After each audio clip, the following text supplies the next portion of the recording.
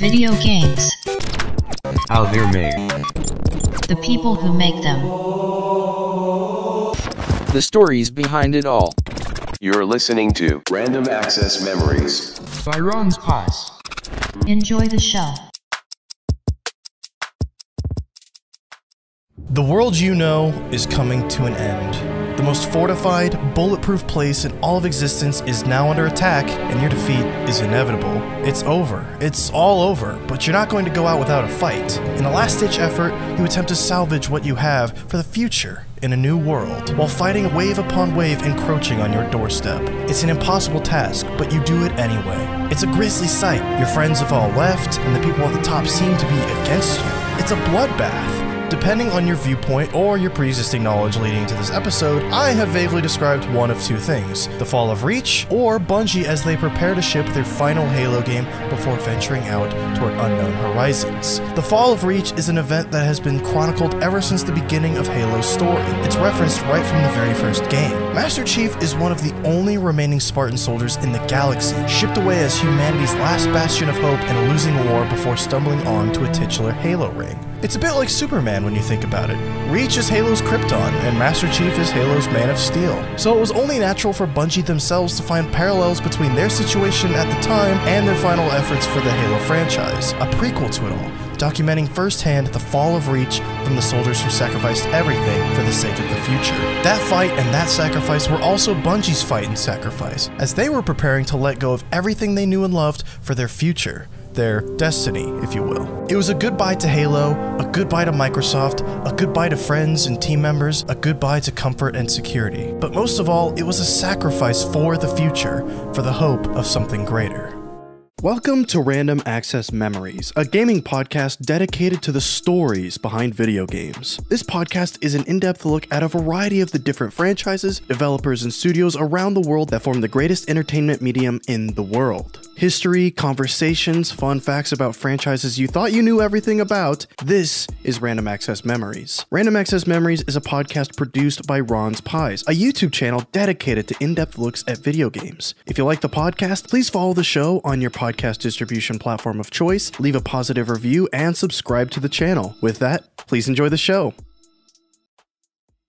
Welcome to Random Access Memories. My name is Wade Ronspies, and I'm joined by my friend Kegan Aylers. Hello. This is episode 3 and also part 3 of our series all about the history and creation of Halo. If you want to catch up, I heavily encourage you to check out the previous two episodes. I promise they won't be hard to miss since they're the only two episodes of the show before this one. But uh, yeah, today is about the changing of the guard in Halo, the end of Bungie's role in Halo's story, and the beginning of 343 Industries. So let's pick up from where we left off last time, shall we, Kegan? I am all for it. Before we start, though, do you want to sound off and just maybe say something about last week's episode if you want? Yeah, I mean, obviously we ended with Halo 3 and that was, you know, like kind of like we talked about, that was like our Halo, you know, that was our foray into Well, actually, we started with Halo 3, but. Well, yeah, but I mean, well, I'm just saying Halo 3 is the main thing, you know, technically. Yeah, I mean, we yeah, had that was the bulk of the episode. We had ODST, you know, and whatnot, but like essentially, but yeah, it's just that trilogy was the end of it, and now, you know, so like, you know, all of us being the young kids and most adults, I would say too, thought that was the end. yeah, well, So- Bungie, that was the idea, was that th- Halo 3 would at the very least be the end of Master Chief's story. Yeah, As, like, and that was for them. exactly. So, But Yeah. yeah. when they didn't even really we talk about it, but like they didn't even really intend on it being a trilogy. They th- like they pretty much treated Halo 2 almost like that was going to be the end. So like they were sad when they had to like leave some stuff behind for a third game. So for all intents and purposes, Halo 3 was meant to be the end, but as we discussed, was part of their contract to make two more games.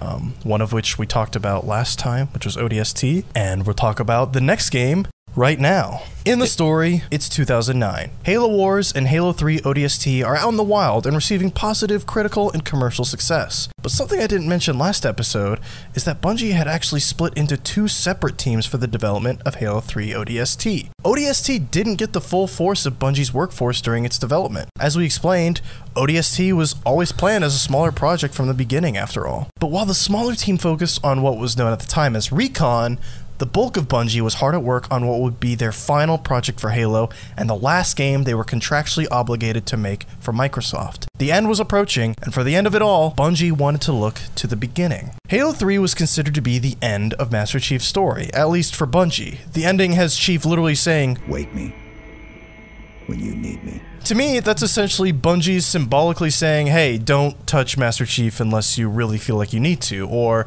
to whoever takes Halo after us, here's something for you. So, with Bungie themselves saying no Master Chief for their final game, it only made sense for them to look toward one of the most infamous pieces of lore within Halo and the peak of UNSC power, the fall of Reach. With Reach, you had nearly unlimited options. Spartans were a common sight, all kinds of vehicles and weapons, epic battlefields. Even though it takes place before the events of the other Halo games, it truly is a culmination of everything Bungie had previously established. Am I right in saying that Reach was like UNSC at its peak? Because you had all the Spartans and everything. Um, I will add into this just a quick lore thing for all for all of you that do not know. Halo Reach to Halo Three is all within a month and a half. Oh yeah, because um, the ending of Halo Reach is literally like this. It It's the ending of Halo Reach is the be- is the beginning of Halo One. Yep, yep. Literally, They the even- Pillar they of Autumn goes the into dialogue. CE. Yep. Yeah. So, yeah, literally, it, it's pretty much the peak. Reach was the, you know, the, it was the military planet of the UNSC. So basically, they. That was you know, where all their they had, stuff was, and that's why it was such a shock when the Covenant yeah, were attack there in such a huge force. It was just like they. I mean, I don't want to like compare this to a heavy world of, but it's like Pearl Harbor in a way, where it's just like, what? yeah, You know, exactly. it was it was really like awakening the giant, but It was in that intense. case, the attacking force won the day. exactly. But that was the the cool thing about Reach is that I mean even in um the first trailer they ever posted for Reach on YouTube the description is um you know how it ends before it even begins or something like that Yeah. which is like So everybody they knew knew from the jump happened. that Yeah. cuz the beginning of CE is they're fleeing from Reach Yep, yep. How the Pillar of Autumn did we gets lose away. them? The epic scale of Halo 3, the character driven story from ODST, the lessons learned from the design of CE and Halo 2, plus tons of other innovations and ideas making their first appearance in Halo, like full scale space combat. But at the center of it all, Bungie's goal with Reach was to uncover the core of Halo and realize why it became successful in the first place with Combat Evolved. An open, alien world full of mystery and intrigue, a combat sandbox full of options, an alien enemy that felt dangerous and threatening. Halo Reach is Halo at its absolute best. Bungie firing on all cylinders, which I believe is the phrase I also used when describing Halo 3, firing on all cylinders. but it's it's true, you know, they were never not going all in.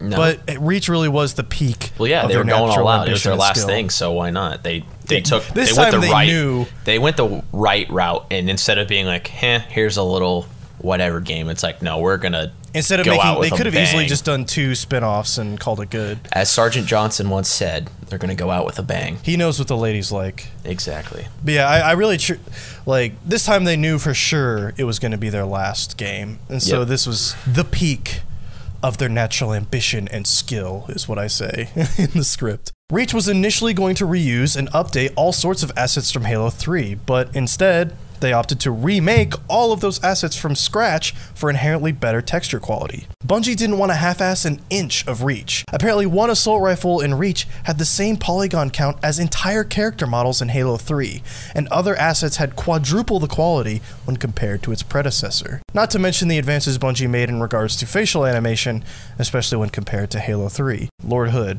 comes to Oh, mind. God. You know, we talk about that last episode where Lord Hood just looks his face is terrible, but um, as I say here, Halo Reach would be the first time we see Spartans without their helmets on, so Bungie really wanted to make sure they could properly display expressions and emotion, especially considering the tone of the story. Again, another lesson they learned from ODST that they were applying to Reach, because ODST was um, one of the first ones where like the main cast.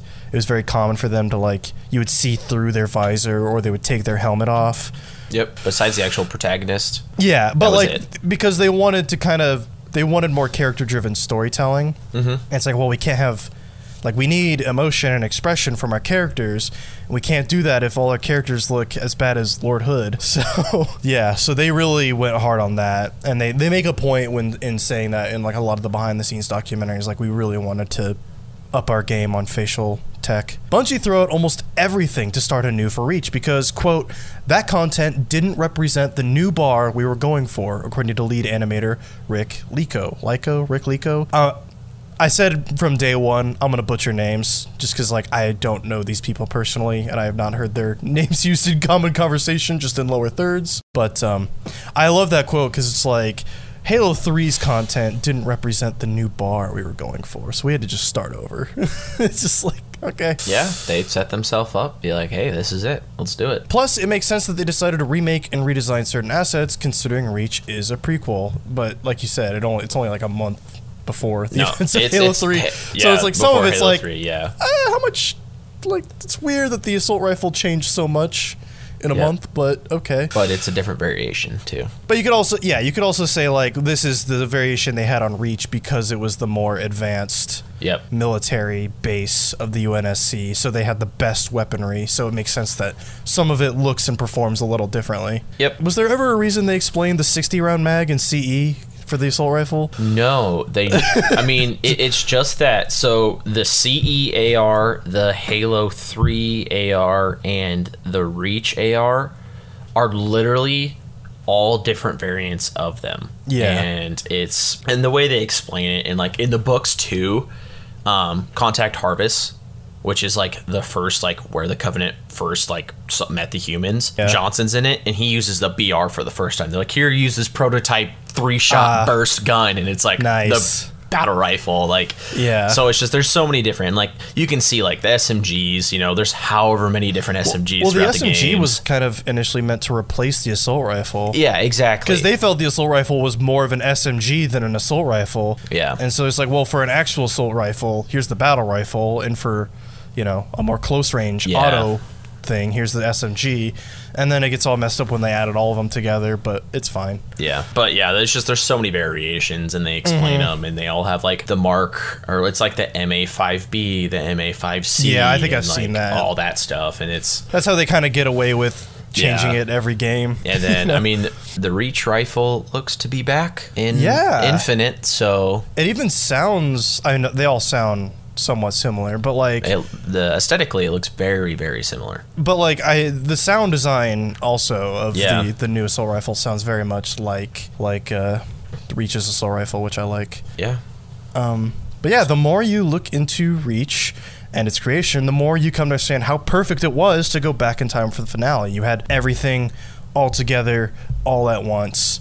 Um, and for the first time, players would be able to fully customize their own personal Spartan soldier, nicknamed Noble Six. Armor pieces, color combinations. Players could finally leave their own personal mark on the Halo universe and see their own creations in cutscenes and online matches. But yeah, like like we were saying, it just made perfect sense for a prequel because it gave you the opportunity to really kind of mess around. I mean, like all you've said before that it is kind of weird that you're messing with something that was already described in the books and you're kind of changing the canon quite a bit. yeah, but But at the same is- time, it's like it had so many great gameplay opportunities. Oh yeah, and, and I don't bash on it at all. I love Halo Reach, but Yeah. the the aspect now, guys. When I go back, the there's the Fall of Reach, the book Mm-hmm. written by Eric Nylund, I, which was written before Halo Three, I think, after Halo Two, um, Mm-hmm. which has two iterations actually. I have the old iteration they actually changed up in the second. Anyway, um, Interesting. That does follow the story of Chief, like from Mm-hmm. when he was, you know, conscripted into the UNSC as a child up to the events of Halo CE. And Mm-hmm. Reach, the game, you follow a Spartan 3. So it's very different sides of it. So I think that's where they were like, you know, as we talked as you talked about initially, you know, it's they're done with the chief. So why go back Yeah. and mess with the chief? Exactly. And prior to something I love CE. in uh, the Master Chief collection actually does this, but like there is that Easter egg in Reach where it when that cutscene on the Yeah, if you pull to on the, the, right. of Autumn, if you turn the camera during the cutscene, you can see The Chief um, in Chief in the cryopod that he wakes Yep. up in in CE. But like in uh, the Master Chief collection, when you do that, um, you get an achievement saying, "See, he is in the game." so it's like, see, uh, and I think the description is like That's Master funny. Chief uh, collection status confirmed or something like that. That's funny. So it's like it technically is still, you know, part of Yeah. Chief's story, even even in the story that isn't about Master Chief. But, But like, yeah. I'll talk about this later. But like, and we already kind of touched on the intro how like the story of Reach is kind of the story of hope in the form of Master Chief and Cortana Mm-hmm. of like getting them like if we're gonna do anything, we got to get this guy and this AI out of here. Exactly, and it's like you know, in Keyes is the guy's like you know when Keyes oh, he gets sho- I forgot Cortana- about when I replayed. it, I was like, oh yeah, shit. yeah, and he's like, we could we could use you, and he's like, no, I'll stay here and protect you. You're like, holy crap, like that's Keyes, like that Yeah. dude is like he's such a his role in Halo One is so significant, but Yeah. like through the greater you know scheme of like the entire Well, that's why franchise, a prequel is so cool because yeah. you get those characters that show up only Well, in like Halsey, one game, You get Halsey and there, then it's like, oh, they Yeah. were important. It's it- like a why Rogue One was a good uh, prequel because it it contextualizes stuff we already knew. Exactly, and that leads directly into A New Hope, Mm-hmm. and it, it brings up like you know stuff like that where yes, it throws in some new stuff at you that like you know it's kind of random and whatnot. You didn't and there's stuff that's need it. obviously fan service. Like, Exactly. did Captain Keyes have to show up? No. probably not. But still, Yeah. And then, and, and as I was saying with like Halsey, like we actually get a face to Oh, Halsey yeah. because you hear about Yeah. Halsey all through mm-hmm. Halo One, Halo Two, Halo and she's Three. in the books, I imagine. And oh, she's yeah, she's in. She's like in the first chapter of the first book. Like you, you know this is the first time Halsey. she's an active participant. yeah, in the story exactly. Because you don't see her till Halo Four, like that, Mm-hmm. you know, or Halo Five. Like you don't really see her character, so you don't really know like who basically the mother is until Reach and her, you know, how George. In, Mm-hmm. Yeah. in Reach is an actual. He's a Spartan two, not a Spartan three, and he's like, "Oh, hey, mom." Mm-hmm. That's why he has that like, giant armor too, Yeah, right? 'cause- yeah, it's the 'cause Spartan he's so much twos had that like tank armor. Spartan twos were so much bigger than Spartan. It was more like an exosuit than Yeah. armor. Exactly. So like that that's also like a thing too. It's like where you're actually being like, well, here's like the actual creator of the Spartan 2s. Like this is Yeah. the person. So and like that's why Reach is so good is because you get so many gameplay opportunities, but you also get so many lore opportunities. Oh, and it's huge. It, it, it's it's just massive, and it's so cool. Like, I in like you know obviously we were young and like big into that then, but it's still like going back on it, you're like this game is like I couldn't imagine if that game came out. Could you imagine if that was the first Halo game? If they did Reach, then CE, then two, then three, how just vastly different Yeah. the franchise would be now. So it's like the way they did it, I, they did it Well, again, like, perfectly, I, in my opinion. I think uh, the really a really good comparison is to like Rogue One, how it just does such a good job of like contextualizing things you already know, and like it almost needed to be told after the fact yeah, because Exactly. with it adds so much weight to everything. If that was the first story you were playing, yeah, you're playing it in chronological order, but you know the weight of seeing Captain Keyes, understanding the sacrifice of all the soldiers there, understanding the role of Reach in the greater lore and Halsey and all that.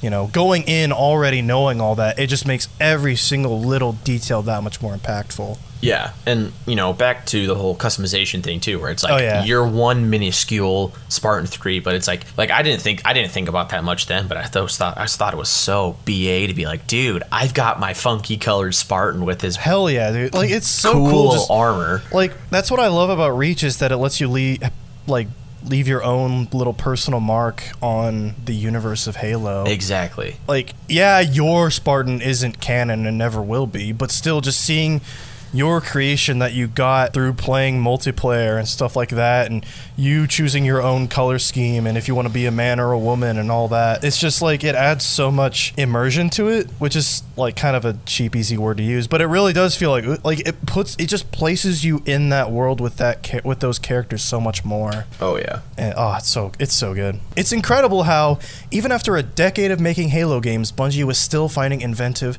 and exciting ways to reinvigorate both Halo and shooters as a whole. With the more level design diversity came more varying ranged combat, which prompted Bungie to introduce new weapons like the DMR. The Magnum pistol also got an old school rework, though it's still a far cry from the infamously overpowered hand cannon from CE. But now you could ADS again while shooting. Yep. But the recoil on the Magnum Oh, and so is bad. Oh, but like, well, just compared to CE, it's like, Oh yeah. He had no recoil. yeah. so like, they definitely still they wanted to like see how you could go from like That they wanted it comparable to CE's Yeah. Magnum in terms of like feel, but they didn't want it to be Oh, as yeah. unbalanced as Yeah. that thing. And that's like the one thing, like going through each game, the Magnum has never been the same Magnum through Oh, every no. game. It, it's been a different gun every game. The So- most so- so similar, I think, is like. Reach to. CE. Yeah, in where terms it's of like, like the old school Magnum. the look and everything like that, but it's a little bit more rapid, but still like or like it's, it's just it's funny. It's really funny seeing the differences. For Reach, Bungie also added armor abilities, basically permanent power ups that act on a cooldown that players can activate whenever they need to. They're like an evolution of the equipment from Halo 3 holograms, jetpacks, active cloaking, but most famously, or perhaps infamously, you had armor locking and sprinting. There was a huge concern at the time that sprinting, a typical convention for Halo's FPS competitors, had no place in a game like Halo. It had the potential to dramatically impact the pacing of multiplayer matches, but locking it to an optional ability with a cooldown was Bungie's way of limiting its game breaking possibilities. So are we team sprint or team no sprint? Honestly, I prefer no sprint because mm. I grew up playing Halo 3 to where you didn't. Yeah. have it to where now you play think- a game like Halo Yeah. 5 and you've got sprint, boost, clamber Yeah. and it, the games are so fast paced now, but that's I think that more so fun, says but yeah. Yeah, but I think that more so says about FPS as a genre Yeah. than Halo as a game because they're moving towards a more People really fast-paced game. underestimate how revolutionary Titanfall was. Oh yeah.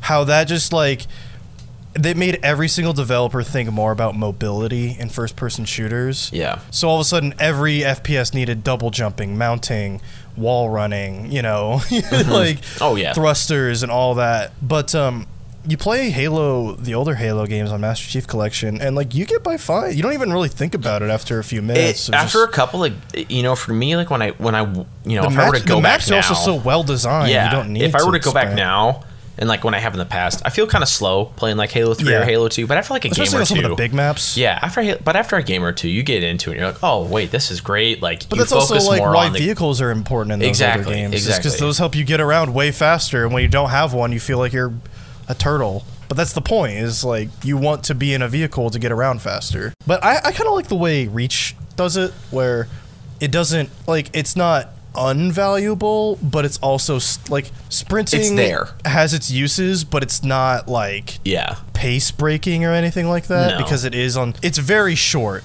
The amount you can sprint and reach is very short and it's on such a big cooldown. It's kind of and plus you're at such a disadvantage when you're sprinting. It's almost better to always have that gun up Yeah. and be ready for anything. I'm not really team no sprint or team sprint.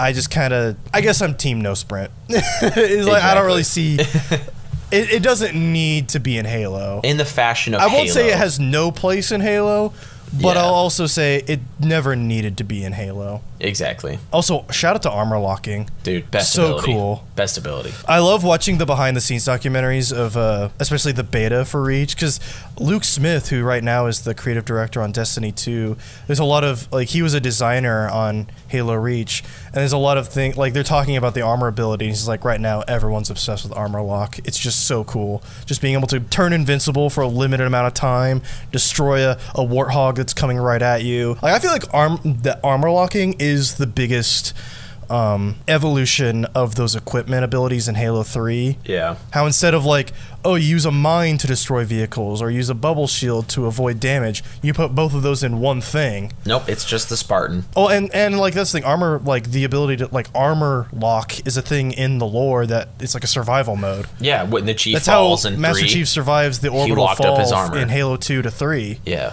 You know, his armor locked up. And so it is a piece of the lore. And so I thought that was a genius way of implementing that as well. Just Exactly. like we're using cool parts of the, the lore to make gameplay more exciting. Oh, Reach is so good. so good But perhaps the most revolutionary addition to Reach was the introduction of assassinations, a unique melee animation that could only be triggered by getting the jump on an unaware enemy from behind. The idea of an assassination was almost an extension of teabagging. It was yet another way to disrespect and humiliate your opponents. Assassinations might seem minor in the grand scheme of things, but they've been a constant in the series ever since Reach, and they've also been included in competitors like Battlefield and the latest Call of Duty, Modern Warfare. It was also a huge point of buzz leading up to Reach's release.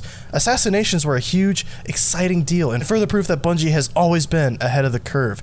I remember the lead up to Reach and assassinations being such a cool like, Dude, they were deal. so cool. And like depending Yeah. on what even in the campaign, had, it was just like, dude, being able Yeah. to assassinate an elite. yeah, or like yeah, running up an elite and like snapping its neck. That was so sweet. Or like the multiplayer, especially. Dude, oh yeah, was like, when you had a sword assassinating someone as like an elite and they were a Spartan and you just run it through the back of their body and just drop and them like, on the couldn't you do assassinations with the flag too? yeah, yeah, you'd stab them with the flag and like there were so many different animations. it was really cool.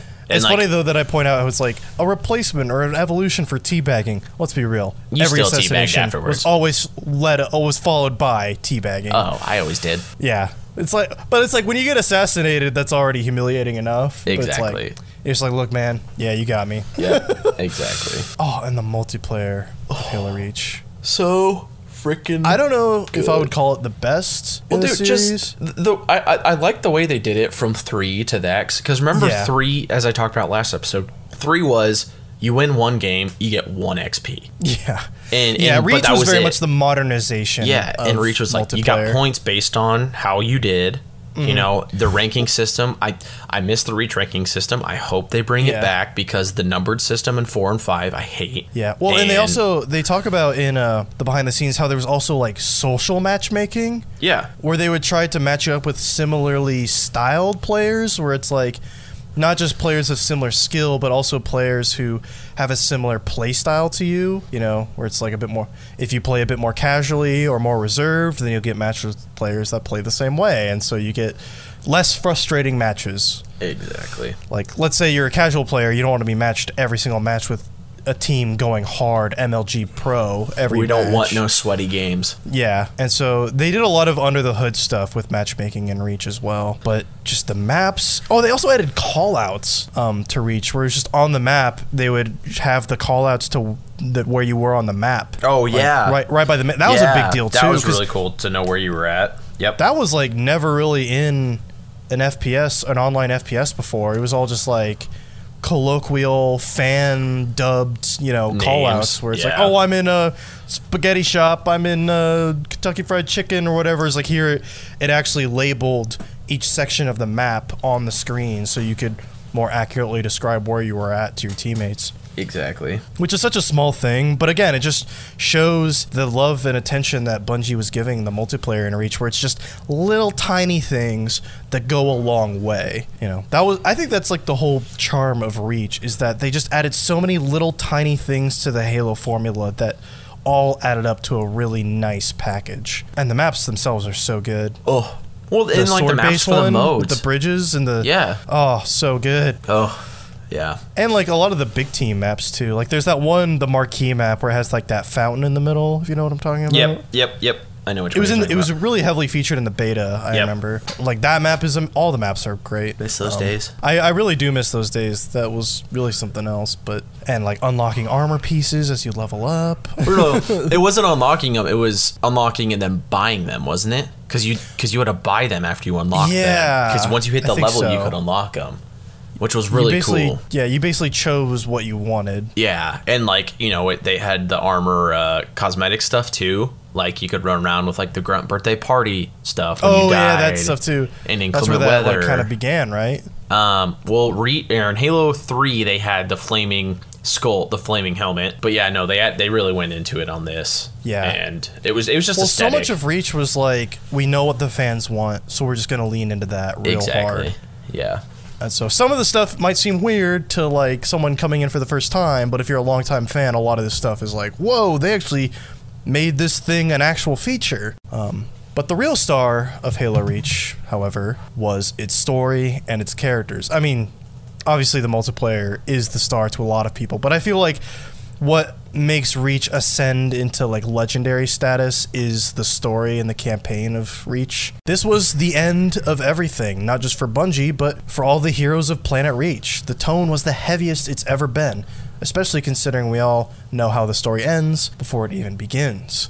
The story of Reach would be the story of the heroes who fought on the front lines. This would ultimately be a human story about a select few, the elite of the elite. Joe Tung, executive producer at Bungie, specifically cited Seven Samurai as a huge influence on the tone of the story and the idea behind the characters. In Seven Samurai, a film directed by Akira Kurosawa, a poor farming village seeks the services of a handful of talented, legendary samurai in order to defend their village from bandits. These samurai won't be getting paid in money, though, only in rice. Most samurai don't even give the farmers a second look, but the seven that do, they choose to help just for the sake of helping. The samurai know that, at best, they're getting a warm meal at the end of the battle and that's it. And at worst, they'll die in service to a village of peasants. That alone tells you the content each of their characters. Some do it for the thrill of battle, some do it just to test their skills, others do it for the sake of justice and doing what's right. Either way, these seven samurai are each heroes in their own way, and not all of them make it out of their noble battle. It's a story of sacrifice, of heroism and selflessness in the face of overwhelming opposition. And that is also the story of Reach.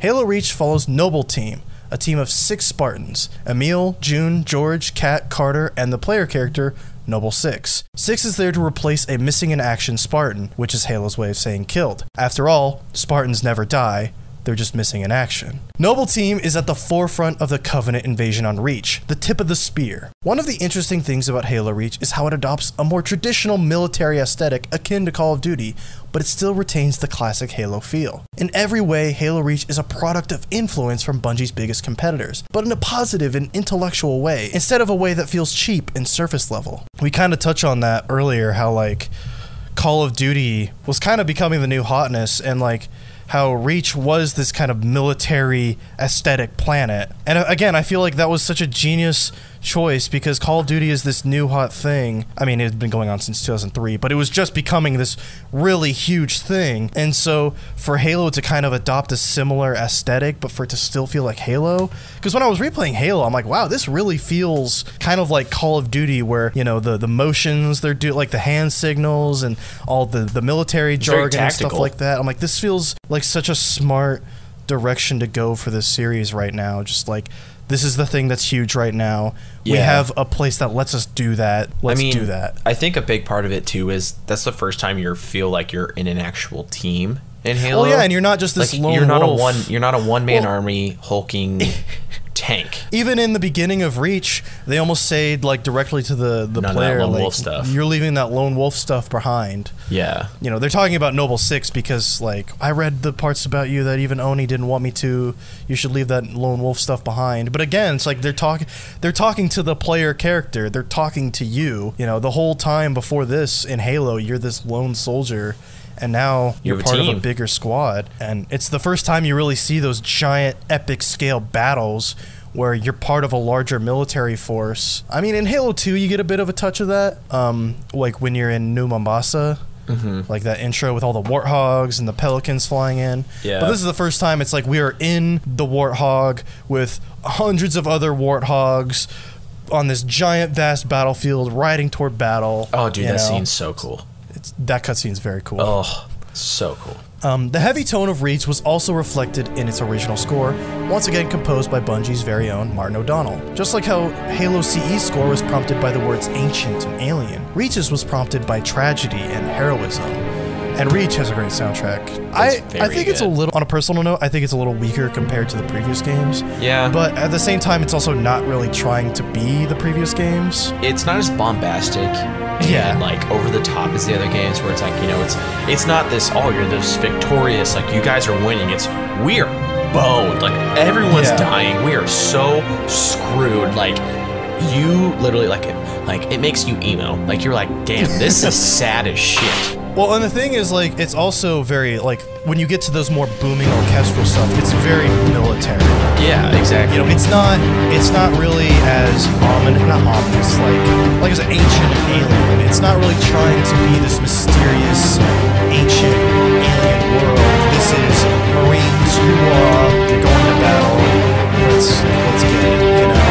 So, Exactly. like, even when it does try to be epic, it's still going for something, a different kind of epic compared to the other games. So I guess it's not worse than the other games. no it's different it, it's, it's very it's like different It's not. It's still fantastic. to me, you know, as we're talking about it and how we talked about ODST last week, it, it's kind of mm-hmm. it, it has that ODST feel where it's Yeah, it's, little dark somber. and mysterious. You know, it's, yeah, like you said, it's somber. It's just it's not as lighthearted and uppity and like, oh, let's get going, let's go blow shit like up. I feel like the theme of the original three Halo games is hope. yeah, Like Bungie themselves, and like especially 343, they like to remind us that Master Chief is like this symbol of hope. But it's really evident, especially in Halo 3 soundtrack, when you're on the last level with the, the, the main theme comes in. It's the final, you know, the final level version of the main theme. It's very heroic, very exciting. You know, this thing is you are the hero. Whereas this, it's just you're a cog in the machine, and you're part of a larger picture that is ultimately about to be torn to shreds. you're there to die. Mm-hmm. So good. I love Halo Reach so I don't. much. Yeah, I don't think you can not like a Halo soundtrack. Yeah. Every single one is good. Even like four and five. Yeah. Have some bangers. Exactly. And from what we've heard of Infinite, it has some great tracks. Like Which- that. Yeah. The Halo Infinite in that trailer, the speech at the end from the Brute has been Oh, kind of yeah. memed on because the graphics, but the Yeah. music in that scene is so good. Who's doing the music? Who's I don't remember. It's not Michael Salvatore because I believe he's still working with Bungie. But Michael Salvatore, we'll talk about him later. He was kind of Martin O'Donnell's not assistant, but definitely his like kind of first-hand kind of guy. Yeah. Um, But I don't I don't know who who's do, who's composing Infinite, but whoever- they've released a couple of the tracks and they're both great. Yeah. The Halo soundtrack, no matter which one you, obviously the Bungie era soundtracks are the best. Yes. But In our opinion. but the three, I mean, I don't think it's even an opinion. I think obje- Well, objectively true. speaking, they're the best in Halo. True. But because like I feel like four, five, and Infinite, they're just chasing what was done. I mean, you could say that about three, four, three in general, that they're just chasing what Bungie's done. But I feel like that's especially evident in the soundtracks. Anyway, the build up to Halo Reach's release in 2010 was intense, to say the least. And I'm not talking about the vibe within Bungie. I mean, in the streets, among the people excited for the next Halo. There really wasn't anything else like the hype leading up to Halo Reach, even compared to Halo 2 and 3, which, you know, we know those were hyped to hell, but this was, I feel like, next level hype. And maybe it was generational. Maybe it was due to how we all matured with the series over the years. Or maybe it was due to how far we were into the generation, where Xbox was at the time, the vibe of the console. Or maybe it was because we all knew it was Bungie's last crack at Halo. Either way, whatever the reason, the fact remains that the air felt different in that time, tinged with a level of excitement we had never felt before. Dude, so, are you ready for Halo Reach? Ready? Ready doesn't even fucking describe it! That was the first time I was on the front lines of the re- of Halo hype. Dude, But, like, seriously. yeah. Uh, this that was, was next level. this Reach was the first game that I bought the most expensive edition for. The collector's edition. Yep, I got the What did that hundred come and with? fifty dollar. That was the giant statue of all nobles one through six. That's sick. Do you still got have that? I gave it to a friend. Um, but and then that was the first game I actually went to the midnight premiere of. oh hell yeah! I didn't Yeah. because I I, we I didn't play it till Yeah. I had an Xbox, but it was just like I wasn't buying Xbox Yeah, games. we were freshmen. I remember that. I remember. I think Hmm. my grandma dropped me off, and my someone gave me a ride home because I said I'd get a ride home. But that was the first game I ever went and stood outside and waited for the midnight release for a game at our hometown GameStop, and it mm-hmm. was so freaking cool. The I I didn't get an Xbox until like a few months after Reach, but I still was like there, like I want to play this game. Oh yeah. You know. But and that was the thing is like not everybody had Xboxes when Halo Three came out. Yeah. It- but like eventually I'll go on to play grade. Reach. and Yeah, sit down especially in it. our And I- I, was there out- waiting on bated breath with every trailer because I Yeah. knew oh, I Oh, was yeah. going to play this game at some point. Well, yeah, and when this game came out, it was like everybody in our grade, minus you, mm-hmm. Had X, Mm-hmm. Who had Xboxes. I eventually yeah, who had there. Xboxes. Literally, we're all playing Reach the first night. It, it came was out. like um, it was like uh, like Mario Kart with Nintendo consoles, and like, Yeah. um, it's like if you own this console, you buy this game. you know, like if you own an Xbox 360, you were buying Reach. That is just how it's going. But yeah, that was such a fun time. oh, I miss those days. It just was- it still makes my heart feel things whenever I think about midnight releases, specifically the midnight release of Reach and the Mountain Dew, Game Fuel. Oh, Don't man. get me started. Mountain Dew Game Fuel's my favorite pop for for the uh, reason of Halo. Game Fuel started with Halo 3. yes, I remember that. We, sh- Me, we should have talked about that. Oh, dude, that We'll was. talk. Maybe we'll talk about that with Halo 4 because I believe they did that with Halo 4 as well. They did, yep. Because that's because I remember they had the I, the new armor where he was looking off into the distance with the AR at his side on the wrapping or whatever. I remember that. Halo Reach was really special, and just like the DMR. I just remember like looking at the DMR and be like, I want to shoot that gun. Yeah, because I was like, oh my god, there's no BR, but it's a single shot long like marksman rifle. I was like, okay, like we'll see how this is. And I was like, oh wow, okay.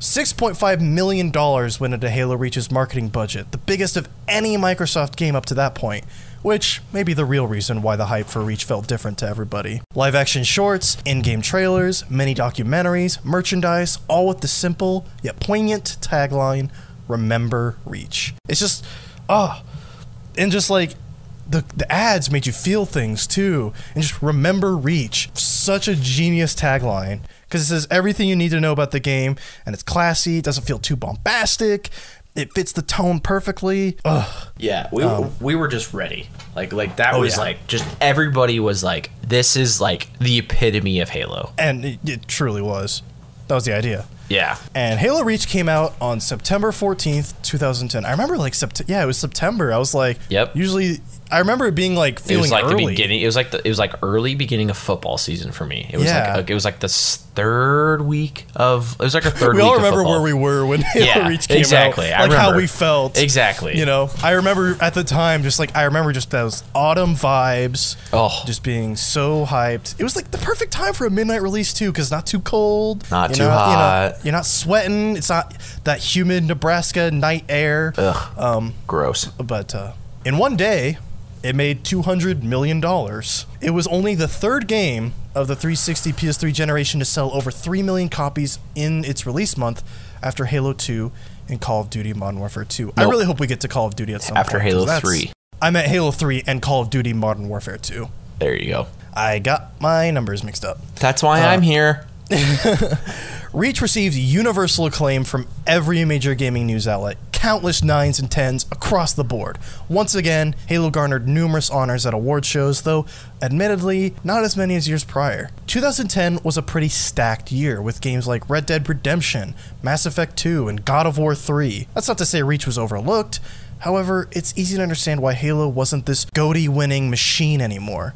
Halo Reach currently sits at a 91 on Metacritic. Even with all that financial and critical critical success, however, Halo Reach was still only the third best-selling game of 2010, behind Call of Duty Black Ops and Mana- Madden NFL 2011. What was the GOTY that year? Um, I mean, it it, depends Effect on where you look, obviously. Um, what Spike gave it? Red Dead Redemption. okay, okay, that makes sense. Red Dead Redemption was the VGA Yep. winner that year. Yep, that makes Which, sense. yeah, Yeah, that was a big game. Still holds up. it does. Red Dead 1 holds up well. But if anything, that just goes to show you that despite Halo Reach breaking the series' own records, there's a new big man on campus, and his name was Call of Duty. Halo was breaking records, but it seemed to be on the way out in favor of new experiences the military shooter, the sci fi RPG, the Western open world game. Yet again, it seems like Bungie called their shots to perfection. They knew it was time for Halo to end, and they were happy they could end it with the masterpiece that is Halo Reach. They absolutely went out on top.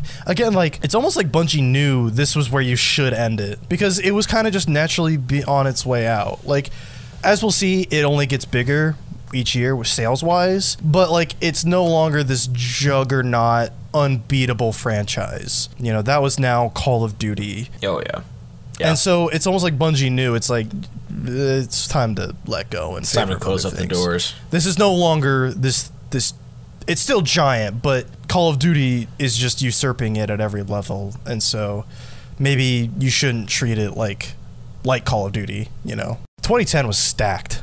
Dude, I remember Mass Black Effect Ops. 2, Was huge. Black Ops, Mass Effect 2. Yeah, Mass that Effect was, 2 was a big deal. Oh my god, I remember that game. That game that was on PS3 as well. Yeah. Because uh, Mass Effect 1 was a 360 exclusive, but then 2 was also on PS3, so a lot of PS3 fans could add it to the hype. And God of War 3 is so good. But hey, God of War 3 was kind of in a similar situ- situation to Reach. It was kind of meant to be the end, and it was kind of on its natural way out as well. It's sad that Reach I think didn't get the recognition it deserved, but I think the people who play it know. And even though some games like Red Dead Redemption, even I would say maybe Red Dead Redemption is a better game than Halo Reach, that's still like Halo Reach is still one of the best games of 2010. But it's like you could say the same thing about like Halo 3. Was that the best game of 2007 in a world that also had uh, I think uh, Call of Duty 4 and like was Halo 3 GOTY in the year of BioShock, Mario Galaxy, Mass Effect 1, Portal, you know, it's like not to everybody obviously, but maybe maybe I'm overselling how it was on its how Halo was on its way out, but I don't know. Um, Halo Reach would eventually get multiplayer DLC, but almost none of it was developed by Bungie themselves. Bungie was already out on their own, enjoying their newfound freedom. Instead of Bungie, the DLC was developed by Certain Affinity and 343 Industries, marking 343's di- first direct involvement making a Halo game. At the end of Seventh Samurai, the leader of the group makes a poignant statement after reflecting on the loss of his fellow samurai. So, again, we are defeated. The farmers have won, not us. The samurai have won the day, but at a terrible cost. The people who receive the fruits of victory have won, but the people who sacrificed for that victory, they've lost. You could equate this quote and the story of Seventh Samurai to both the tragedy of Reach and the departure of Bungie from Microsoft and Halo. The war was won. Bungie did everything they possibly could, but now it was time to leave everything behind. At the end of Halo Reach, Noble Team sacrifices themselves to transport Cortana, Master Chief, Captain Keyes, and the Pillar of Autumn off of Reach safely. They sacrifice themselves for the sake of humanity's future, earning their squad name of Noble. It's a bittersweet and beautiful moment symbolizing the send off of fate, the passing of the torch. Cortana and Chief could very well represent the future of Bungie, the next project they had planned. When you play a Reach and you take into consideration what Bungie was planning and what they were going on to do, it only makes that ending even more impactful, in my opinion. You kind of see the symbolism a bit more. Like, I really do think that ending is beautiful. It was the perfect. It was making it reach the, their last game a prequel so perfect. I cannot describe how perfect of a decision that was. Well, yeah, I mean, just like well, like and like you're sitting there, it's like you fight and you die, and it's like this Yeah, is we'll it. Like, survive. this is I- the end Yeah. For them, obviously. But like, but like, but like yeah, that's it. You see the symbolism in the ending, and you realize like how perfect it was, how just to set it, like how every single layer, every single decision is so perfect for a prequel, and it's disappointing sometimes. Like, oh man, a prequel, like, because it's not. You're not continuing a story. You know, you're going back. So like the story, like the story that you want to hear about is on hold. It, it just the way it ended, and then Yeah. and it's so funny because you're you don't sit there and be like, oh, I, you're like, dang, I gotta wait for the next game to come out. No, literally can jump in right into playing CE right afterwards if you wanted to. Yep. In April 2010, before the release of Halo Reach, Bungie announced they were entering a 10-year partnership deal with Activision Activision Blizzard. I put Activision Bungie. Oh. Activision Blizzard. With Activision, Bungie would develop an original intellectual property, which Bungie would retain full ownership of. They wanted to be able to leave with their baby anytime they wanted, if need be, which if you followed Bungie's recent exploits within the past few years, that came in handy. but they didn't want another Halo situation on their hands. They didn't want to, hey, we don't want to work with you guys, but we still want to work on the thing we like. They still wanted to be able to take that with them. Um, Bungie relocated to a renovated cinema complex in Bellevue, Washington, which is the city in which they currently reside. They began work full time on their next project, a game they knew they wanted to make since Halo 3 ODST. In the behind the scenes documentaries for both ODST and Reach, you could see multiple employees wearing company merchandise with the Destiny logo on them. Plus, there was a poster in Halo 3 ODST with a picture of Earth on it with the tagline, Destiny awaits. So, there you have it. Bungie was now done with Halo and done with Microsoft. They were working with Activision on what would become what we know now as Destiny, an online FPS RPG inspired by MMOs and by their previous work on Halo. A huge, living world with a never ending wealth of lore driven by a thriving community of players. Currently, Bungie is hard at work on a new expansion to Destiny 2 called Beyond Light. They've ditched Activision and now work on Destiny 2 all on their own. They're thriving, despite everything going on in the world right now. Uh, most of the original staff is gone or in different roles, with Luke Smith, a designer on Halo Reach, serving as creative director on Destiny 2. Jason Jones, co founder of Bungie, is currently the CCO of Bungie, and Pete Parsons is the current CEO. In 2014, Martin O'Donnell was allegedly fired without cause after a troubled development cycle on Destiny. O'Donnell would go on to co found his own studio called Highwire Games. Michael Salvatore, a collaborator with O'Donnell, is the current composer at Bungie, with his most recent work being Destiny 2. Alex Seropian, co founder of Bungie, started a studio called Industrial Toys in 2012, and the studio is currently owned by EA. And that's that on Bungie. Their role in the story is now complete. I wanted to l- touch base a little bit on like where they are now. You always see at the end of like biopics and movies Where they based are on now. real stories of like what are they doing now? The baseball, the stud quarterback did it. Yeah. I wanted a little bit of that just because, like, Bungie is still. Bungie is, you know, why we have Halo. So it's important to keep even modern Bungie, which isn't, you know, the Bungie that made Halo, but it's still important to keep them in mind, especially because a lot of the original staff either left or. I mean, the whole Martin O'Donnell thing, that's a huge. That's a podcast episode on its own. But Yeah. again, that's that's post Halo. I didn't really want to get too deep on that. So I'm sure you understand. I, I do. I, I Maybe we'll just do a one parter on Destiny. Maybe. But yeah, Bungie's role in this story is complete. The transfer is complete. Microsoft is now in complete and total control of Halo. They had big plans for Halo. Such big plans, in fact, they founded a whole studio specifically to make Halo games for the foreseeable future. Enter 343 Industries. We're finally going to talk about them. Established in 2007, immediately following the announcement of Bungie's departure from Microsoft, 343 Industries was founded by Bonnie Ross, a former producer on games like Zoo Tycoon, Counter Strike, Jade Empire, Psychonauts, Gears of War, and Mass Effect. She already had a pretty positive track record when it came to Microsoft game properties, so she was the one chosen to helm 343 Industries in 2007. Currently, she serves as 343's vice president, and whatever your opinions are on her, it's pretty like when you look at her track record, it's like, yeah, that made sense why they chose her to helm a an Xbox game studio, you know, because Yeah. she helped produce so many games that were exclusive to Xbox. So it's just like, all right, here you go. But yeah, um, the idea behind 343 wasn't just to be a game development studio, it was to be the development hub for all things Halo. As I said earlier, 343's first job on a Halo game was making DLC maps for Halo Reach.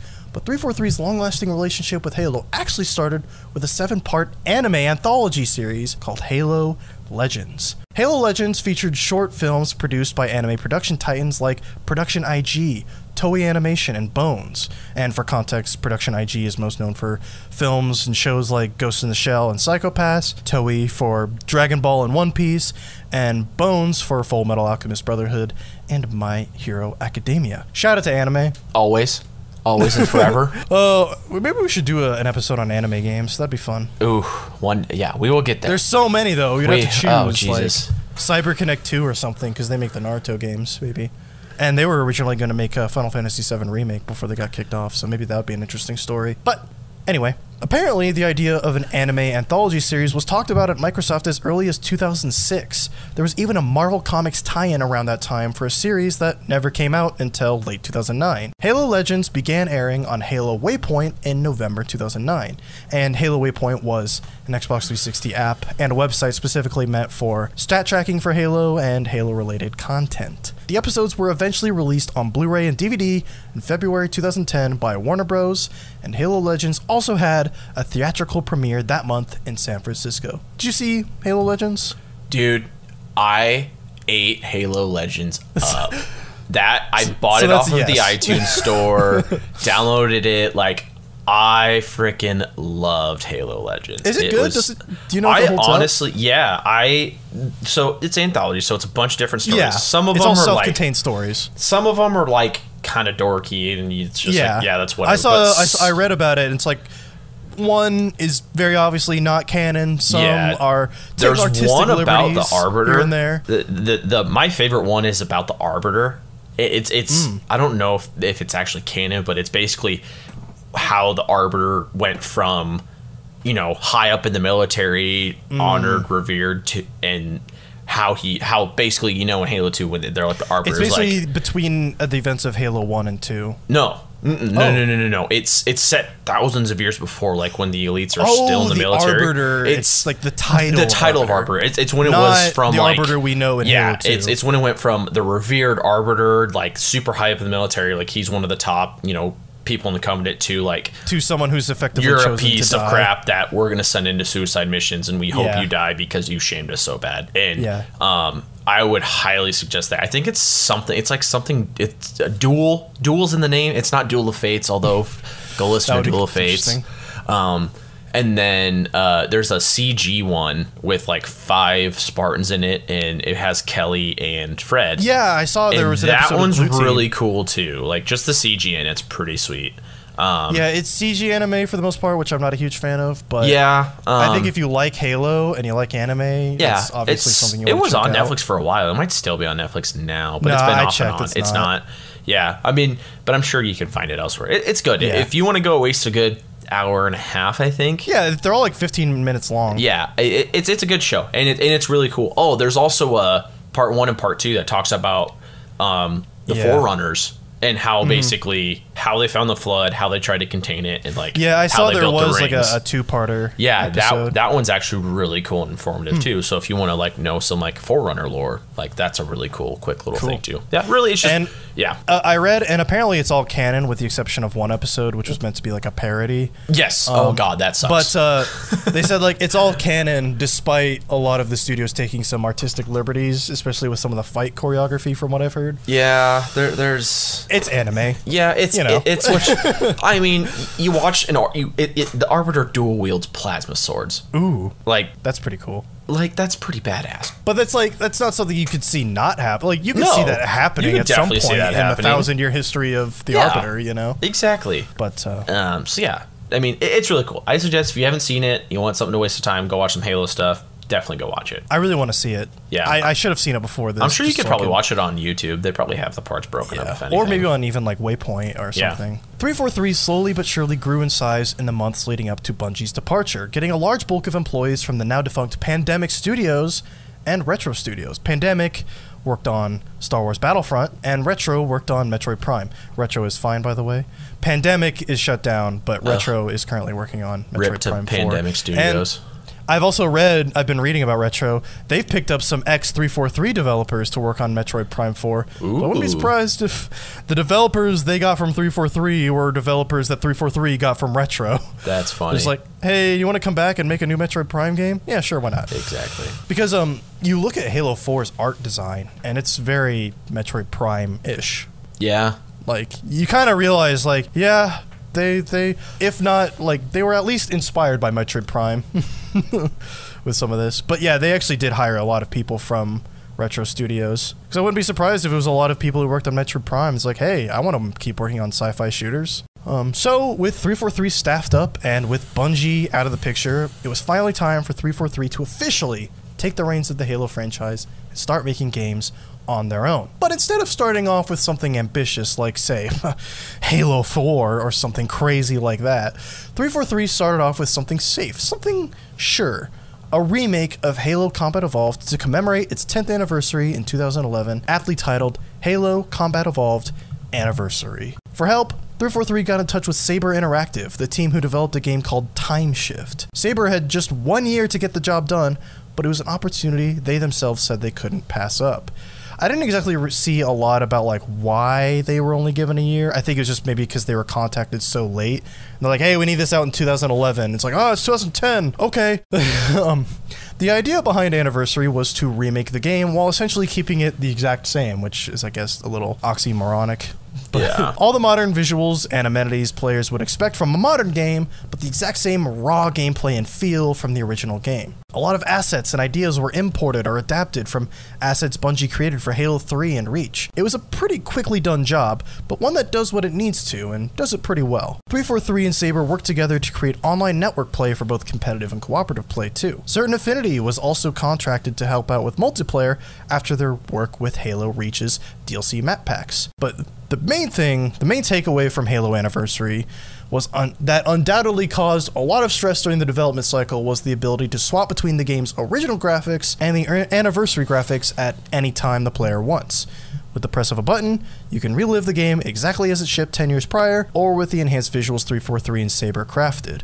I think that's like the. I wish that was in everything. Like Yeah. any remaster should have a button that lets you do the old graphics. But that's a lot of work because you're basically running two versions of the game at the same time. Oh yeah, and you know, as we kind of previously talked about it, it, it you know, it's kind of cool, but my preference, you know, is Yeah. the old graphics, so I prefer. a lot of people prefer the old graphics just because the the colors are a bit more vibrant. Yeah, you it get a little. You get the battle feedback. I guess is the way of describing it. It is a just little more felt like obvious, where it's like the the hierarchy of Covenant, like Yeah, the it- red it- and blue and you know Yeah, yellow. it just color felt like schemes that kind of identify the tiers. Yeah, it's just. I mean, it's a it's a cool thing. They tried. Obviously, they did a way better job for Halo Two Anniversary, Yes, which we will talk about. and Later. But um, I mean, got to start somewhere. Yeah, it was their first major project, and even then, they didn't really develop it all Yeah, themselves. exactly. If this development cycle sounds a bit cold and a bit more corporate than Bungie's frat style approach to game development, then you'd be correct. This wasn't a passion project made by a group of people dedicated to make something fun just for the hell of it. This was business. Multiple studios working together to reach a specified deadline with a bottom line to be met. That's not to say there wasn't passion in it.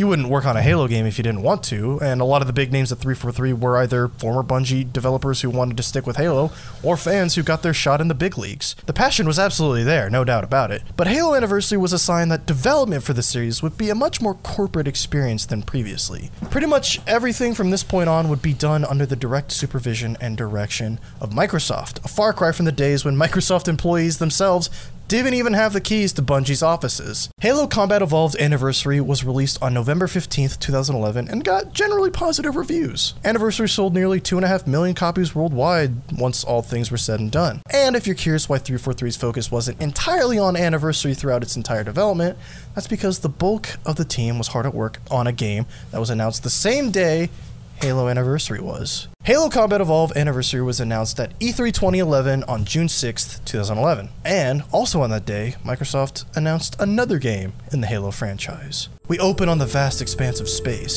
fade into a beating heart before wham! The cryo chamber doors of the UNSC Forward Unto Dawn crash open, revealing Master Chief and a distraught Cortana caught in the middle of an explosive situation. Chief navigates the Forward Unto Dawn in zero gravity, uses a grenade launcher to blast through the debris before catching himself on the exposed edge of the ship facing a giant planet sized machine. Fade in, Halo 4.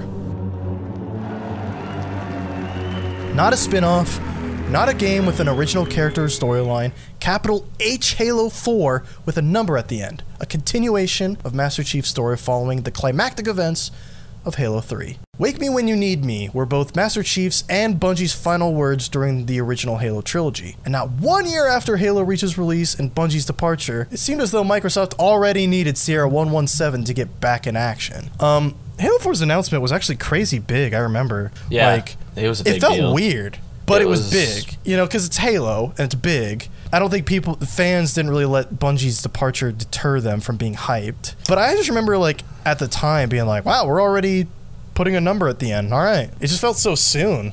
Yeah, I mean, to me back then, it was like, oh hell yeah, Halo Four. I don't think I was as hyped. Yeah, as people I were was hyped, for but previous it, it wasn't like, let's go, but it was still like, oh, nice. Which I feel like is almost a failure in a way. Because, like, I feel like Halo exactly. is that let's go franchise. I mean, just saw that with Reach. exactly. and just I again I think it was just too soon to announce Halo 4. I think if they had waited, honestly, I think what they should have done was wait until like 2012 or announce it as an Xbox One launch game, maybe like wait till 2013 at least.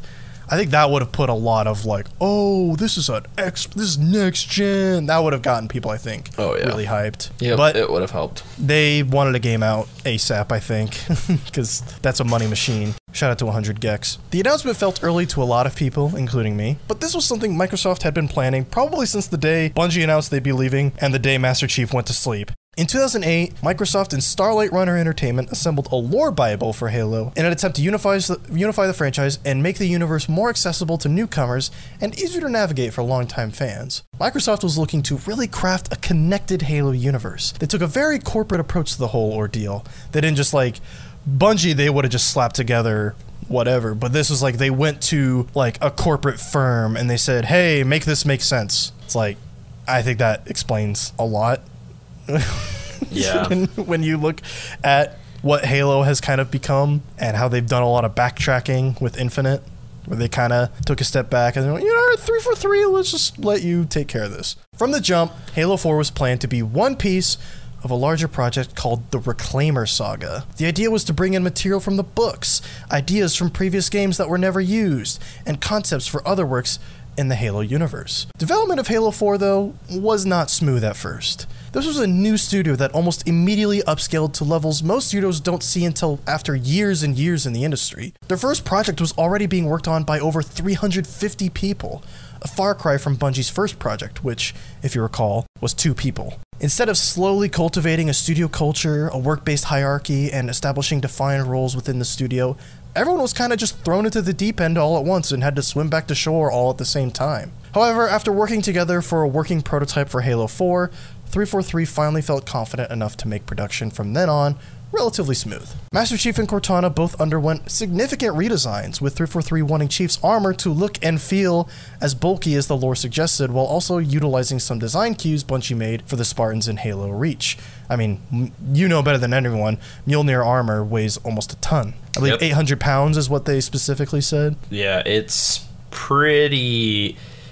Basically, the armor's super heavy, and Spartans they weren't. But that's why they're genetically modified. Is so they yeah, can well, they try to have that. regular Marines who were just slightly modified put them on at first, and then And it would no. broke it broke their bodies. It basically Well, it's like the scene in Iron Man 2 when the suit Yeah. does a 180 and For, breaks the guy's uh, spine. What's uh, what's the dude's name? Hammer. Armor. Yeah, Hammer Industries. It's yeah. basically it basically that happened for yeah, a while. it made like we in, need genetically yeah, modified since the Spartans were genetically modified, their bones Instead of changing the armor, they changed humans. yeah, the bones were that is grafted with a certain metal or whatever it was. I can't remember what it was. Basically, they did it, and if read read the Fall of Reach, they that scene where they put on the first gen Mjolnir armor is actually really cool. Well, that's why they turned it into like an exosuit. Also, yeah, exactly. It's like, well, we want this to work with normal people, yep. and so Yeah, they, they did try hated- to like change the armor that. to fit the normal people, but then they're like, Yep. the utility and mobility of this specific type of armor can't be beat. Yeah. But yeah, like that's but that's why you saw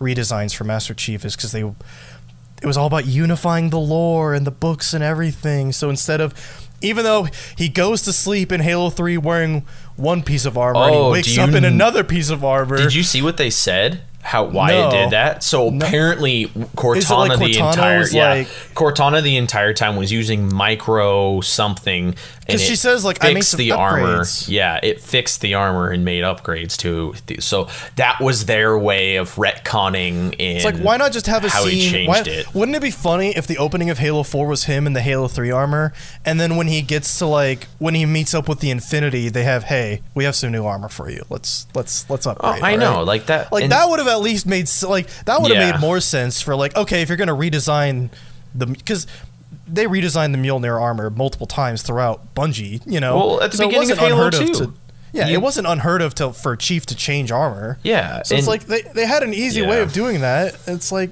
instead they had to do the weird, like I don't know. Yeah. Anyway, in fact, a lot of the pieces of Halo underwent some massive redesigns for Halo 4. The game's story was to be heavily based on the series' Forerunner race, so the architecture of the world and the art design was pivoted to reflect that. Much to the dismay of a lot of the fans. A lot of people feel like the art direction has Yes. changed for the worse Dipped. after Bungie. I completely agree. But uh, like 343 had an interesting explanation. Is they said like the reason we went this way is because we wanted it to feel almost like it's in the extended universe. So it's like, Yeah. but that's almost a weird way of admitting that you don't want your games to be treated like canon. but whatever. Um, a lot of Halo's artistic direction was changed by 343, not just the art design. The story was also a radical new direction for Halo.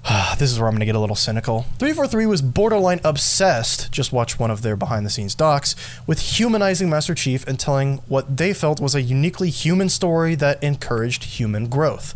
Meanwhile, if we flash back to Bungie, the team that created him saw Chief as pretty much nothing more than an avatar that let players do badass stuff as a character who was capable of doing badass stuff. And I get in the lore that in the books he's definitely a character, but like we, we discussed this before the show, I feel like that's what made the book so special is that you see him be a character You see him be the human, but you still Yeah. get that he's a hulking badass. and like part of the character is that he is this inhuman shell in a way. Exactly. Like he is just so dehumanized because he is literally my existence is to win is to fight for the UNSC. Well, and, So, and in the books too, they explain that they're like they didn't revere the Spartans as regular humans. I know, like, like- the Marines, like they, For sure. Like he had, they have elements to the chief and other. Spartans. They were seen as like battlefield assets. yeah, but that's the thing is like you know, and the Spartans weren't even meant to be. You know, they were there to go out and like you said, the whole thing is you know they were missing in action, not dead, because it's Yeah. they were meant to be like you said, like the original games, hope and like that Yeah. they could win and stuff like that. Like Yeah. I, you didn't There was have a to lot go of like legend behind yeah, them. you didn't have to go Myth. into the depths. They were very of mythological Them figures. being, oh yeah, he's a human. Like he's he has his human flaw, Yeah. flaws and the parts. idea was that they were greater than humans. Yeah, but but that's the thing. It's like the dude's a hulking machine who is a Yeah. killing machine, like the Doom guy. Like Yeah. you don't have to go super in depth into that. And They're and- they're no different than like military hardware, like a tank, like Exactly. a scorpion in that world. Like that's what they're seen as within the UNSC almost. exactly. You don't need a human aspect to that, which But like I get they like, tried. that might not make for an interesting story. Yeah. But I feel like with Halo, that's not the point. That's not how you make an interesting story in Halo. Because like I would say that in Halo Three, you have a very interesting story. Yeah. But it's based on the characters around Chief, not Chief himself. which is fine because you don't need the chief to be a human person. Make the people around him, like you said, human. Like And they try that in four. They have Yeah. like Lasky and you know whatever. And like some of them, they have some interesting characters. they had some good characters in Halo Four. Granted, But I'll, I'll talk about this later. They kind of have a lot of like artificial drama too. Oh, yeah. Also, for the record, take a shot every time you hear the word human in the behind the scenes docs. You'll probably die of alcohol poisoning. love that. Let's do it. Cortana needed to be more human. Chief needed to be more human. Their conflicts needed to be more human. I feel like this is extremely evident in the fact that a lot of the conflict in Halo 4, aside from fighting the Prometheans and the Covenant, comes from Master Chief's conflict with the UNSC over what to do with Cortana and his role as a bit of a relic. I actually kind of like the idea of like, dude, you've been missing for years. We've moved on. And then he shows up again. It's like, uh, what do we do with you? Like, that's an interesting story, I guess. But I felt like they went way too hard on that. Yeah. Because, cause, like, you have that one asshole captain dude who's, like, always Before yelling at Lasky. Chief. Yeah. Not Lasky. No, before Like, Lasky. It was the commander yeah. before Lasky of the Yeah. infant. Because Lasky's, like, Chief's bro, but then you have the, like, gray hair. Like, he looks like Peter Stormare, but, yeah, like, budget and he Peter was Stormare. like, where he was basically like, dude, the Spartan twos are obsolete. Like Spartan fours are where where but it's like at now. that's where I come down. Like I, I like the human conflict feels a bit artificial at times, um, just because like it feels like this guy is just yelling at Chief and mad at him for no reason. It's like, dude, this is Master Chief. He wouldn't do what he does for no reason. yeah, You know, so it's like, why why are we having a drama? Why are we having drama here? Chief should outrank all of you, just in terms of like prestige. of experience. Um, it's like in uh, uh in in the Clone Wars in the for in the Clone Wars movie, basically where Yeah. Rex is like, you know, Ahsoka's like, well, I technically outrank you. He's like, yeah, but in my book, experience outranks, you know, Well, it's like Chief literally rank any day. saved, destroyed like three Halos, and you know, He saved, saved the day humanity multiple, multiple times. Like, You know, deserves respect. Yeah, pretty much like created peace between the Covenant and humans. yeah. So yeah. that's why I felt like the conflict in Halo 4 was a little artificial. It's like they're just doing it because they need drama and storytelling. Yep. Especially because like we're dealing with the Prometheans and the Covenant right now. We do not have time f- to get mad at Master Chief because he wants to save Cortana from rampancy. Like let's just can we just ah stop fighting? Yeah. But uh, It was forced. Anyway, yeah, it felt like a very forced conflict. Yep. The main enemies of Halo 4 are what are known as the Prometheans, a concept that was originally created by Bungie as part of Peter Jackson's planned Halo Chronicles episodic series of games that was ultimately canceled, as we described last episode. 343's Prometheans are essentially forerunners and reclaimers synthesized into AI and then given a new physical body. But what you really need to know is that they explode and dissolve whenever you kill them, which 343 thought was really cool. You listen to the docs and they're like, I think we found how we make the Prometheans fun to fight. They Oh, dissolve God. when you shoot them. It's like, all right. And they teleport, and it's like, okay. Because Uh. like Bungie's des- design philosophy is like we need to make enemies that are fun to shoot and fun to be shot at. I will say this now: out of all the bad guy types, out of the Covenant, out of the Flood, and out of the Prometheans, I hate the Prometheans the most. They're just so boring. They are, and they're annoying as hell.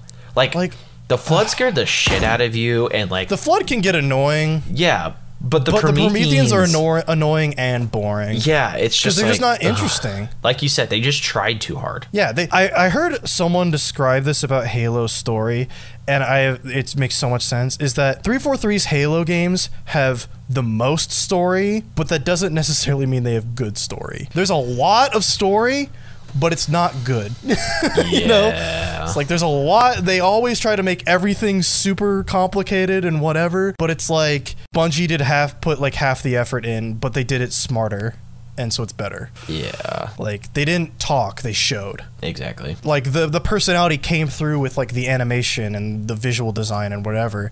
Whereas then you look at the Prometheans and they're just these orange and silver robot dudes. It's like, okay, where's the personality in this? Exactly. Whereas you have the brutes and they're like giant monkey things, and then you have the elites and they even the elites are like so ex- expressive Oh yeah. and they talk to each other and all that. And the Prometheans are just these silent aggressors. They do actually talk, I know, like, but it's but just- not like it's like you don't hear an elite yelling at a grunt like for being an idiot, and yeah. you don't have grunts being like, oh my god, he's gonna kill me. yeah, You know, I mean, they do have Covenant in four, but but yeah, if at any point when discussing Halo 4 and 5 I sound super cynical, just know that yes, I am when it comes to 343's games. But for the record, I do like Halo 4. It's just the more you think about it and read about it, the more you realize just how ill conceived and overthought so many of the ideas they had for 4, Halo 4 really are. Like we just described, it's like there's more, but it's not necessarily better. exactly. And mine, I feel the same as Wade as well too. So we are yeah, it's both like equal in I this think thought. Halo 4 is good, but compared to Bungie's games, it's still like psh, get out of here, you know. It's still bottom tier. yeah. Again, like I I bought Halo 4 when it came out Same. I got the midnight played release it and enjoyed it. Yep. I don't talk I don't touch on multiplayer in this much. That multiplayer in Halo 4 got a lot of criticism just cuz Yeah. it's very Call of Duty. The map Yep. design, loadouts, Gameplay. Yeah. They tried way too hard. again like oh i think i actually touch on this later like but i might ta- just say it now like how i talk about how halo reach felt inspired by call of duty in like a good way how like aesthetically because you're in the military kind of more and so it kind of feels a bit more like a military shooter but halo 4 feels like call of duty it just feels like call of duty Yeah. sometimes you know if it's very surface level influence. But Halo 4 would eventually come out in late 2012, but before its launch, a mini series called Halo 4 Forward Unto Dawn aired on Halo Waypoint and Machinima, rest in peace, set 31 years before the events of Halo 4. And so would begin yet another long winded saga of live action projects set in the Halo universe. But we'll get more into that next time. Did you watch Unto Dawn? I don't really want to get into it that much. I did. You watch? um, I didn't think it was bad. I, it's a fun watch. If you like I've- I've heard- Halo, I've- yeah, I've heard it's a fun just- watch. I've heard it's serviceable. Yes. If you like Halo, you'll like it. Yep. Halo 4 was released on November 6, 2012 to solid critical reception and over $300 million in sales during its first week on sale. Even though Bungie was no longer in the picture, Halo was still stronger than ever. Halo 4 outperformed Halo Reach, which really hurts to say. But this kind of what I'm about to say next really drives home what I said about Reach, how it was kind of like Halo on the way out. Even with Halo 4's great sales, it was still only the second best-selling game of that November, not even the year, just that month, getting beat by guess who? Call of Duty Black Ops 2, which is a fantastic game by the way. Halo uh, Black Ops 2 is a better game than Halo 4. I'll say it. I don't think I that's agree. I don't think that's a hot take. I don't think. I, I honestly don't think Call of Duty Black Ops or Call of Duty Black Ops Two isn't one of my favorite CODs, but for most people it is, and I still think it's Yeah. better than Halo. People 4. love. I I almost like to a point I don't understand. People Yeah. love Black Ops 2, but Black Ops 2 is still like one of the best Call of Duty games, I think. Yeah. Um, but yeah, uh, like I said, this the Call of Duty's influence on Halo was more apparent than ever. With Halo 4, it had QTEs, scripted set pieces. You had those climbing sections, which felt super out of place Yeah. And it's not like other Halo games like didn't have set pieces, but set pieces in Halo games previously, like in Halo 3 was oh no, there's two scarabs. Now what do we do? You know, like that's the set pieces. They're throwing a lot at you and it's how do you handle that? Whereas in Halo 4, it's the control is taken away from you and you watch a cutscene that's from Chief's it's like in game, yeah, in Chief's perspective. It's the same thing in like Call of Duty 4, or, or, or, or, I mean, in Call of Duty, you know, like when you watch the Eiffel Tower fall down in Modern Warfare 3 or whatever. You know, it's it's a cutscene you're watching. Yeah, it Yeah, like- feels like, you're doing something, but you're not. You're just in and it's an in-engine cutscene that you can control pretty much. Yeah. Whereas Halo 3 and like Halo set pieces before that really felt like This is a cinematic set pieces Yeah. that you have control over. Like that two scarab, like the two scarab part in Halo Three, how you can they give you a cliff that you can drive a warthog off of Off onto of the scarab. one, You don't have to do that, but you can. It's there. That's how you do it in Halo. Also, hey, in Halo Four, sprinting is now a fundamental part of gameplay, which we talked, which touched on a little bit. Yep. And so began 343's journey with Halo. And regardless of how we feel about Halo 4 and what we thought it did well or what it did poorly, it was still a very great success for Microsoft and very reassuring that they made the right decision in regards to um, 343 and continuing the Master Chief saga. Conceptually twisted, just misunderstood. I think Halo 4 might just be the most divisive entry in the Halo series, but for understandable reasons. Halo 5 might get that honor, but I feel like the response to Halo 5 is more negative than positive, so it's hard to call it divisive when more people more people lean toward negative than positive, whereas I feel like Halo 4 has like an even split of haters and defenders. But what was next? Microsoft had a ton of ideas in the bank spin offs, re releases, adaptations, major entries. But for those, we would have to wait for a new generation of Xbox hardware and for a new episode of Random Access Memories. Next time, we'll discuss Halo's role on the Xbox One as well as the future of the series. Next week, it's the finale of the complete story of Halo, and I hope you join us as we finish the fight. See you next time. Later. Thank you for listening to Random Access Memories, and I hope you enjoyed the episode. If you want more, check out our previous episodes and or subscribe to the show on the podcast platform of your choice. This podcast was produced by Ronspies on YouTube, so please check